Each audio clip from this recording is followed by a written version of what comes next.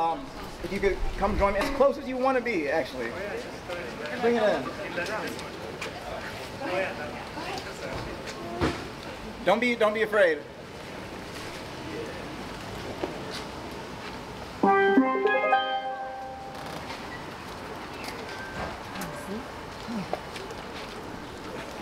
I just put this here so we can see? Hi. Hello there. Hello. Thanks so much again to Cody for having us. And also, don't forget to empty your bank accounts into our Venmo. Just empty everything in your wallet, uh, driver's license, vaccine cards, everything. Just stuff them in there. All right.